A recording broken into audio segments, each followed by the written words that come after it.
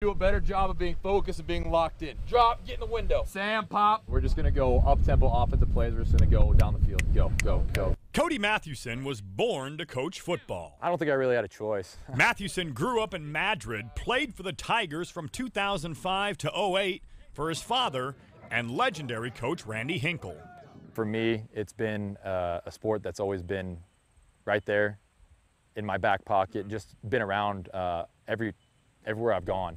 After playing collegiately at Northwest Missouri State, Mathewson spent a couple years in the Kansas City metro area until small town Iowa sucked him back in. One, two, three, family. Now he's in year five at ACGC. It's what I wanted to do. I went to school to be an educator just because I wanted to coach. Yo, eight, slant, strong. I want you guys to enjoy to be here. I enjoy being here. Hard work on three. One, two, three. Hard work.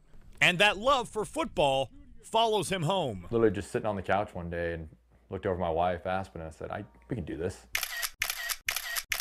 Call it a second job. As an educator, you know, it's it, it's not the best paying job. We're always finding for ways to supplement our income.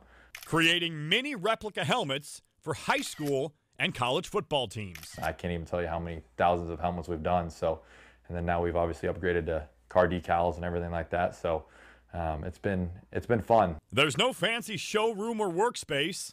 Hundreds of plain helmets waiting to be labeled upstairs, while the heavy-duty laser printer works away in the home office. It's gotten bigger than what I anticipated, but I haven't stopped promoting it. Word of the business has spread on social media, and it's not just local schools placing orders. Now we're about 100 and some schools in and 16 states. A side business in the infant stages, but no end in sight. It's a never ending thing. You know, there's always a new crop of kids who come in, there's a new crop of parents who come in. From the time he was born, football has been in Cody Mathewson's DNA. We are not going to settle for mediocrity. We cannot settle for the way we performed on Friday night. Don't expect him to slow down anytime soon. I think the time I maybe have to stop doing it is if I run out of, you know, storage and helmets. John Sears, WHO 13 Sports. Nate, right?